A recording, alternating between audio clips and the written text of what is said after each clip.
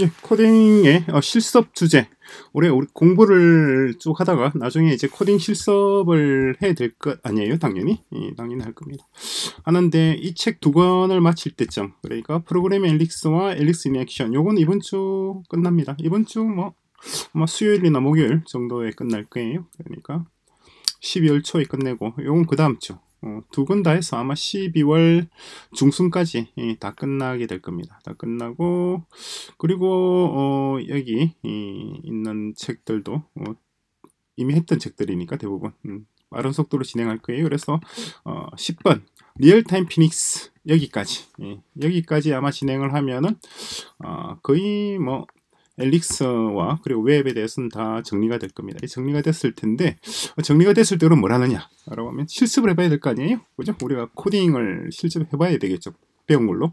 뭘 코딩할 것인가? 아, 요걸 한번 생각해 보셔야 될 것 같아요. 어, 저도 물론 음, 강의를 진행하면서 아, 코딩 실습을 아마 제가 진행을 하겠죠. 어, 제가 적절한 시점에 예, 그러니까 어, 빠르면 다음 그러니까 2023년 1월이나 2월경 음, 진행할 것이고 늦더라도 뭐 3, 4월경에 진행할 거예요. 근데 여러분들도 한번 미리 공부를 하면서 그냥 막연히 공부하는 것이 아니라 어, 요 실습 주제를 염두에 두고 어, 학습을 따라오면 좋을 것 같아요. 냉장고 같은 경우 예를 들어서 자, 10만 대의 냉장고입니다. 10만 대 냉장고를 어, 서버가 제어하는 겁니다. 서버가 제어하는 거죠. 그리고 냉장고마다 어, 전부 다 조그만한 뭐 예를 들어서 뭐 아두이노 보드 같은 게 장착되어 있다 보는 거예요. 아두이노. 어, 아니면 뭐 또는 Raspberry Pi 같은 어 Raspberry. 이게 이게 뭔지 아시죠? 어, 요런 요런 보드. 초소형 보드가 장착이 되어 있다고 보고 그리고 이러한 보드들 이것도 컴퓨터잖아요. 이 컴퓨터들을 어, 서버가 제어를 하는 겁니다. 서, 우리가 코딩하는 서버가 제어를 할 거예요.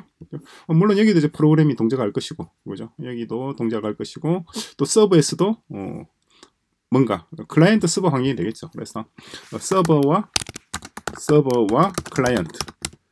클라이언트가 누구냐니까 얘가 냉장고란 말이에요. 냉장고. 이런 시스템으로 해서 10만 대의 냉장고를 이 서버가 제어하는 겁니다. 그래서 두 가지 모듈을 다 코딩해야 되겠죠. 일단 클라이언트 냉장고에 탑재될 프로그램도 구성을 할 것이고 그리고 서버에 탑재될 프로그램도 구성할 텐데 구성할 텐데 일단 이 부분 빼자 말이죠. 이 부분은 나중에 뭐 Rust 실습 시간에 하, 도록 하죠. 이거는 Rust Rust에 좀 더 적절해요. 하고 그럼 서버 요것만 일단 우리가 Elixir로 코딩을 해보자는 겁니다. 엘릭스. 그래서 어, 10만 대의 냉장고를 제어할 제어할 서버 제어할 서버 왜 제어하느냐 제어해서 좋은 점이 뭐냐? 어. 그것도 한번 생각해 봐야 되겠죠. 10만 어, 대의 냉장고, 어, 이 주, 도시에 있는 음, 냉장고 10만 대를 서버 한 대가 제어야 할 때 우리가 얻을 수 있는 효용이 무엇인가? 어떤 효용이 있을 것인가? 어, 그것도 한번 생각을 해볼 수가 있겠죠. 한번 생각해 보시기 바랍니다. 생각은 뭐 저도 하고 여러분도 하고 같이 해야 되겠죠. 저 혼자만 생각하면 별 의미가 없잖아요. 그죠? TV도 마찬가지입니다. TV도 어, 이제 10만 대의 TV가 이 도시에 있다고 가정하는 겁니다. 이 신도시에 어, 10만 대의 TV가 있는데 이 10만 대의 TV를 제어할 스마트폰 앱을 어떻게 구성할 것인가 스마트폰 앱 요것 한번 작성해 보죠. 작성 작성하는데 어, 보통 이제 이 지금까지는 주로 React 이런 걸 썼잖아요. React라든가 뭐 여러 가지 있죠. 뭐 Vue라든가 뭐, 뭐 등등을 썼는데 Angular도 있네. Angular Angular도 있고 요즘 뭐 또는 여러 가지 그런 요런 이러한 모듈들을 주로 이용을 해서 보통 뭐라고 해야 되나요? 웹사이트 어, 좀 웹앱이라 그래야 되나요? 웹앱을 구성을 했는데 그렇게 하지 말고 우리가 이제 엘릭스 기반으로 한번 구성해 보자는 겁니다. Elixir 기반. Elixir 기반으로 구성한다는 말은 Phoenix라고 하는 프레임워크를 쓴단 말이에요. Phoenix라는 걸 쓰는 것이고 좀 더 구체적으로는 LiveView라는 걸 쓸 겁니다. LiveView. LiveView는 한마디로 그냥 server side React입니다. React나 Vue나 Angular 얘네들을 서버로 옮겨 놓은 거예요. 그게 LiveView입니다. 서버에서 어, 클라이언트의 화면을 다 제어하는 거죠. 상당히 재밌습니다. 굉장히 재밌어요. 그래서 리모트 컨트롤을 대신할 만한 음, 앱. 그래서 10만 대의 TV. 좀 그림이 그려지시나요? 어, 10만 대의 TV가 있으면은 그 10만 대 TV 각각을 제어할 스마트폰용 앱도 작성을 하고, 그죠? 이건 이제 client side가 되겠네요. client client side 앱도 구성을 하고 그리고 server side 에도 앱도 구성을 할 거예요. 사이드 앱. 요거는 이제 Elixir로 하는 거죠. 얘는 필리, Phoenix로 할 것이고 얘는 Elixir로 할 거예요. 해서 그래서 Elixir로 하는데 그럼 이렇게 해서 뭐가 좋은 점이 뭐냐는 거죠. 이렇게 했을 때 좋은 점. 이렇게 하면은 음, 일단 모든 TV들에 대한 어떤 사용자 인터페이스를 표준화할 수가 있는 거죠. UI standardization이라고 그럴까요? standar 음, dization. UI를 표준화할 수가 있고 그리고 누가 언제 어디서 무엇을 얼마나 시청했는지에 대한 어떤 통계 statistics 데이터를 음, 추출할 수가 있죠. 예를 들어서 우리 집 중학교 다니는 딸 아이가 있는데 얘가 공부는 안 하고 늘 만화 영화만 본다. 그러면은 어, 누가 아들 딸 각각 누가 언제 어떤 프로 매달 어떤 종류의 프로그램을 얼마나 시청했는지에 대한 정확한 통계 데이터가 나올 수가 있죠. 그죠? 왜냐니까 스마트폰이 리모트란 말이에요. 어, 어, 스마트폰 앱이 어, 리모트 컨트롤을 대신할 거란 말이에요. 그럼 각자 스마트폰을 가지고 있으니까 각자 가족이 4명이면 4명이 다 제각기 자신의 스마트폰으로 TV를 조작할 거 아니에요? 그죠? 그러니까 누가 언제 어떤 프로그램을 봤는지에 대한 모든 정보 데이터가 정확히 도출될 수가 있죠. 이렇게 했을 때 효용이 뭐가 있느냐는 것이에요. 효용. 효용과 단점.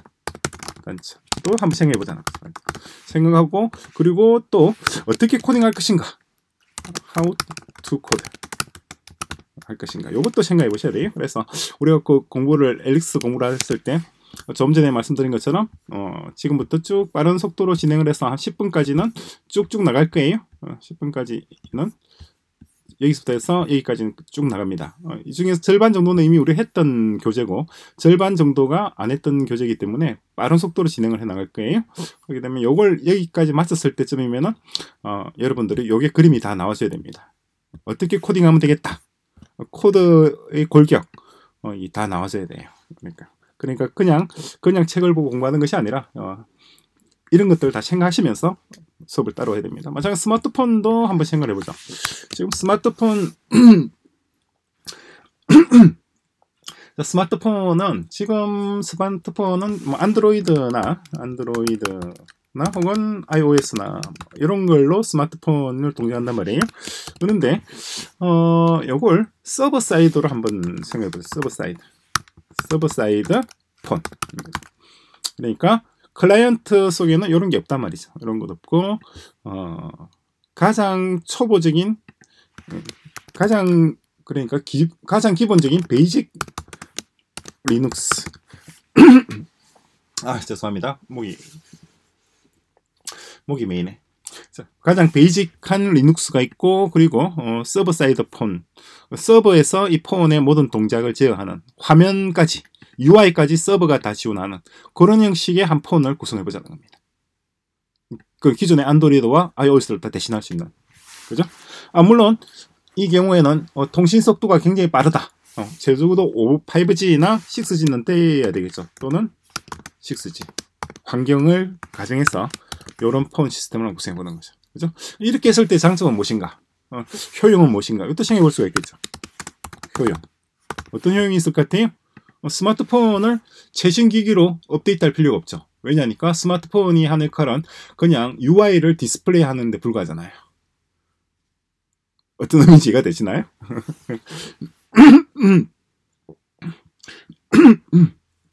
아, 아 목이 메였어. 물을 좀 먹고 와야 되겠습니다.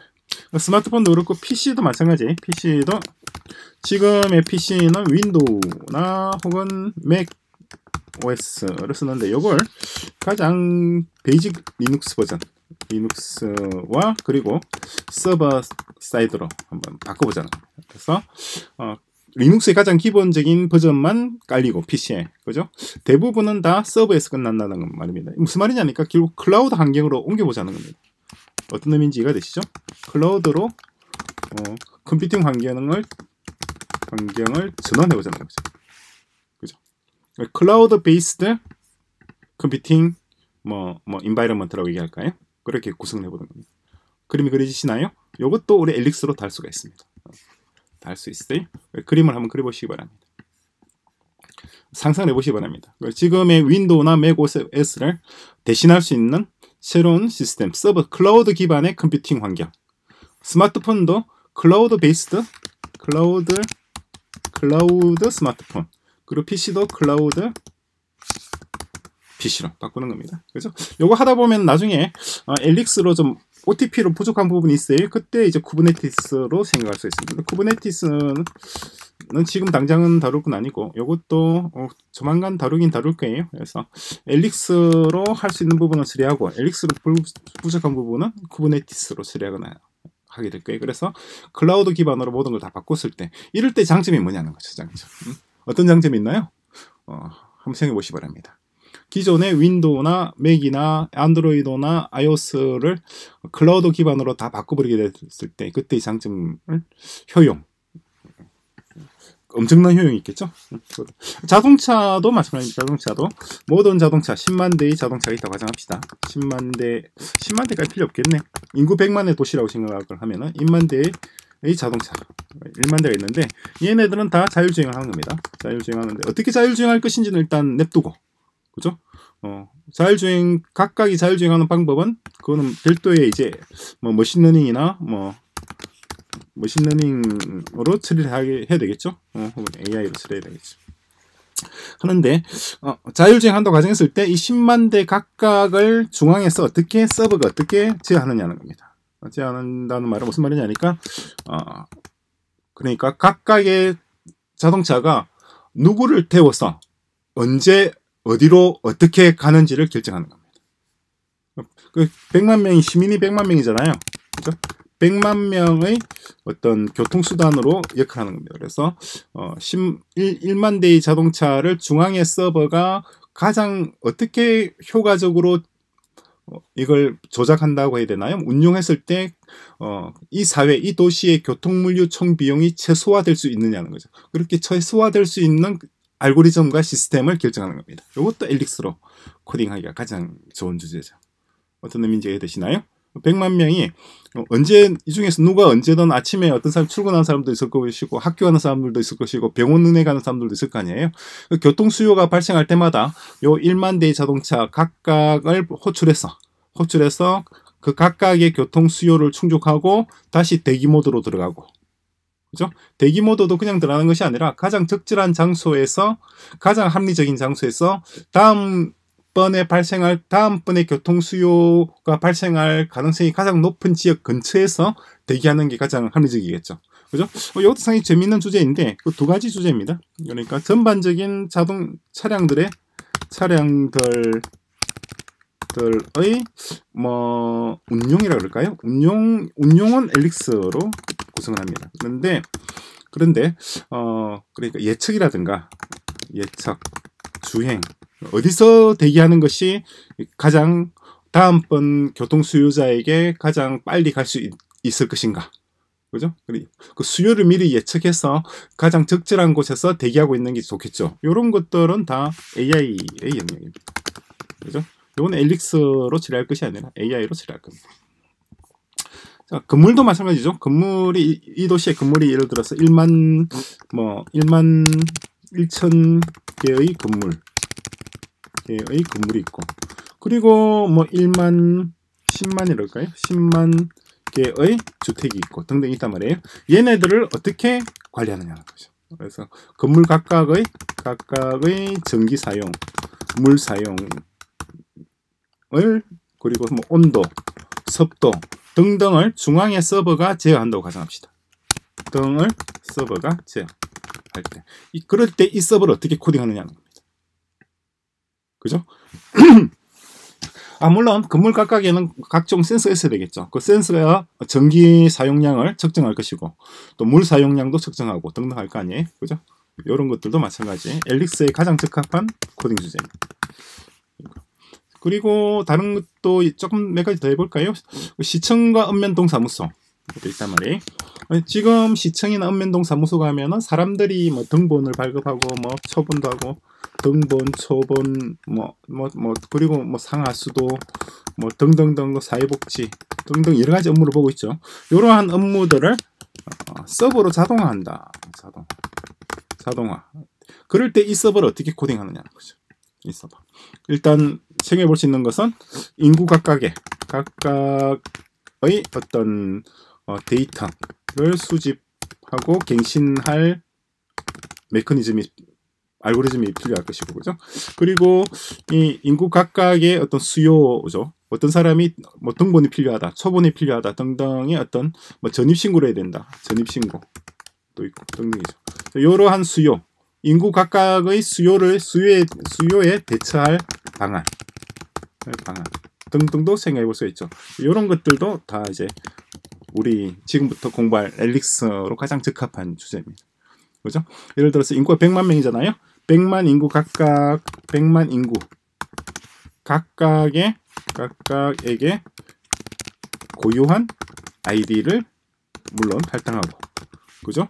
그리고 그 뭐라고 해야 되나요? 그 일상과 그리고 업무를 모니터링할 그런 시스템 그죠? 이런 전반적인 시스템을 다 구성할 수 있겠죠.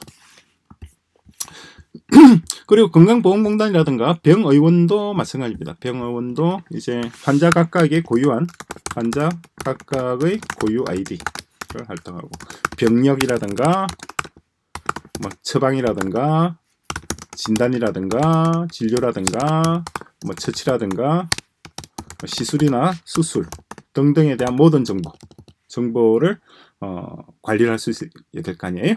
건강보험공단과 병의원을 통합한 하나의 어떤 어, 뭐라고 해야 될까요? 뭐 환자 관리 시스템, 건강 관리 시스템, 관리 뭐 서버 를 한번 코딩해 보죠. 시민들의 건강 관리 서버. 그리고 이것도 상당히 재밌는 주제입니다. 그래서 건강 관리 서버를 코딩하는 이런 것들은 엘릭스로 가장 적합한 주제예요. 그런데 그 환자를 그럼 진료하는 것, 이 환자의 어떤 증상을 보고 어, 증상을 보고 어, 진단을 하고 그에 따라서 처방을 하고 혹은 처치를 하고 그리고 예후를 관찰하고 등등등 이런 과정들은 AI 영역이죠. 또. 그러니까 AI와 전통적인 프로그래밍이 서로 손발을 맞춰서 갈 수밖에 없어요. 그리고 우리가 먼저 하는 것이 일단 전통적인 프로그램, 엘릭스나 러스터는 전통적인 프로그래밍이고 요거 공부 끝나고 나면은 우리 AI 다할 겁니다. AI 갔을 때 어, 이런 부분은 처리하고 지금 당장은 요걸 할 겁니다. 그죠? 법원도 마찬가지입니다. 법원도 뭐 판사를 판사의 역할을 대신할 의 역할을 대신할 하는 거는 이건 AI죠. AI가 되는데 법원 업무 중에서 업무의 99% 업무의 99%는 법원 행정이에요. 법원 행정이 99%입니다. 1%가 판사의 역할이에요. 판사는 1%밖에 안 됩니다. 판사의 역할은. 나머지 99%는 법원 행정, 법원 사무의 역할인데, 네, 사무죠? 사무. 요거는 다 우리 엘릭스의 영역, 엘릭스의 영역이고, 요거는 AI 영역이죠. 그죠? 우리가 그러니까 어떻게 하면은 법원 업무의 99%를 자동화할 수 있는 일종의 법원 서버를 구성할 것인가? 법원 서버. 법원 서버를 구성하는 거죠. 이런 것들은 앨리스. 그래서 어, 법원에서 무슨 일을 하는지, 법원 행정처에서 무슨 일을 하는지 거기에 대한 물론 뭘 어떤 조사라든가 뭐 그런 게 있어야 되겠죠. 있으면은 그런 데이터를 그 조사를 기반으로 해서 서버의 시스템을 우리가 구성해 볼 수가 있겠죠. 그죠? 또 화장실도 한번 화장실. 화장실도 어, 이거 뭐 화장실을 갑자기 뜬금없이 뭔 화장실이냐고 하는데 예를 들어서 이 도시에 50만 개의 양변기가 있다. 그럼 이 양변기 각각의 어, 각각의 사용량을 측정할 수도 있고 위생 상태를 모니터링 할 수 있죠. 위생 상태 모니터링 할 수 있고 또 수리가 필요할 경우 혹은 고장 났을 때 감지하고 또 대응할 수도 있죠. 대응하고. 그죠? 그러니까 뭐 집에 화장실이 고장이 나거나 뭐 막히면은 어 지금 어떻게 하나요? 음, 그 수리하는데 우리가 전화를 해서 어, 화장실이 고장났어요. 와서 좀 봐주세요. 관리실에다 일을 하건 얘기하거나 그렇게 하잖아요. 그렇게 하지 않고 서버가 스스로 화장실의 상태를 결정하는 파악을 하는 겁니다. 서버가 파악하고 조치하는 거죠. 이런 서버를 한번 코딩해 보자는 거예요. 그죠? 이런 서버가 코딩이 되려면 그러면 어떻게 되나요? 일단 이 양변기 자체도 뭔가 시스템이 있어야 되겠죠. 얘도 음, Arduino 보드 같은 경우 Arduino 보드 Arduino 보드 요즘 Arduino 보드가 이게 우리 돈으로 한 2,000원 정도 할 거예요. 1,500원, 2,000원 정도 할 겁니다. 1,500원, 2,000원짜리 보드를 설치를 하면은 요게 초미니 컴퓨터잖아요. 초미니 컴퓨터로서 어, 물론 통신 모듈을 이 장착된 걸로 설치를 해야 되겠죠. 그죠?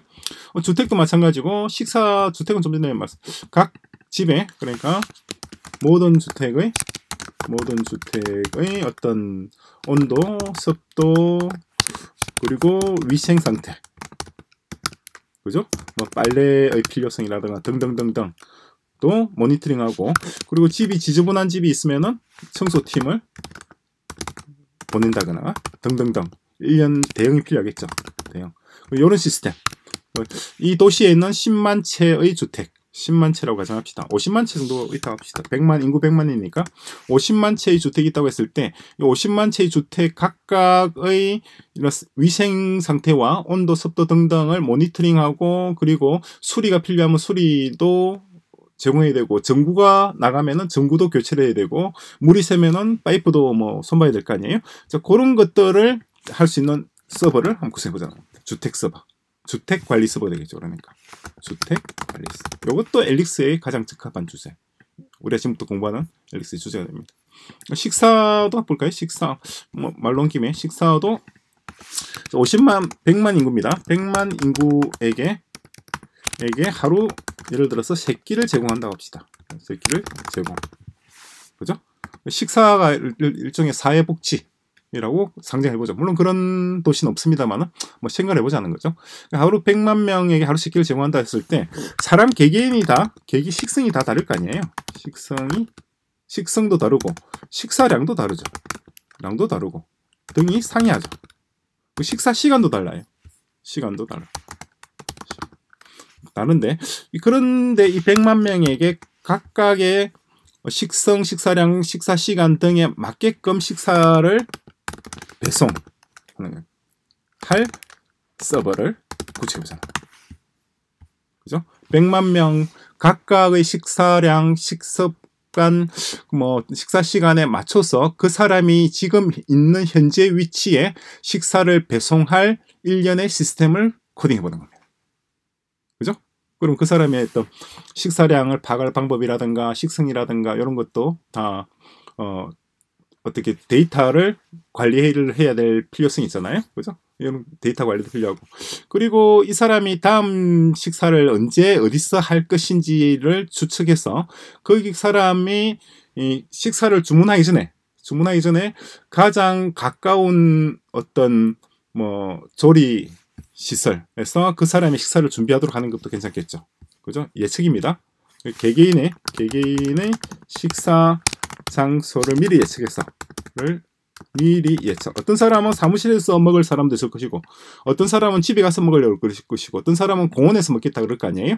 어쨌든 간에 그 사람, 그 각각의, 백만 시민 각각의 식사 장소를 미리 예측하고, 그런 다음에 그에 맞춰서, 그, 음식 재료라 그랬나요? 음식 재료와 조리 시설 등등을, 등을 사전에 할당하는 사전에 사전에 할당하고 계획할 수 있겠죠.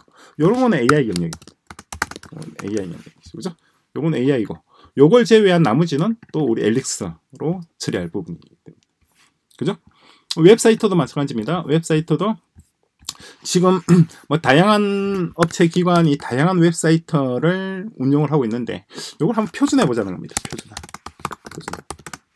뭐 어떤 말이냐니까 뭐 시청 사이트와 뭐 은행 사이트 혹은 저 저 또 뭐라고 해야 되나 어 뭐 쇼핑몰을 할까요? 쇼핑몰 사이트 이런 것들이 뭘 등의 UI가 통일된 통일 혹은 또는 일관성 있게끔 일관성 있게끔 이런 사이트를 구성할 방안 있죠. 그죠? 웹사이트를 만드는 별도의 웹사이트, 웹사이트를 만드는 어떤 도구, 그죠? 이런 것들도 한번 생각해 볼 수가 있죠. 어, 그리고, 그러니까, 그리고 이전 에피소드 말씀드렸습니다만 어떤 그 로그인 프로세스, 인증 프로세스라 그럴까요? 프로세스의 표준화. 공동인증서라든가 뭐 전화번호라든가 등등 이런 걸 쓰지 않고 그런 걸 쓰지 않고도 어 일관된 인증 프로 인증 과정이 없는 인정 또는 단순화? 인증 프로세스를 거치지 않더라도 비밀번호를 입력하거나 무슨 뭐 뭐 뭐 뭐 공동 인증서 무슨 뭐 뭐 비밀 뭘 넣거나 뭘 하지도 않고도 인정이 될 수 있는 각 개개인이 자신을 인정할 수 있는 새로운 인증 수단 또는 새로운 새로운 인증 메커니즘, 인정 수단 등등 생각해 볼 수가 있겠죠. 이것도 우리가 좀 있으면 공부할 피닉스의 가장 좋은 주제입니다. 피닉스로 할게.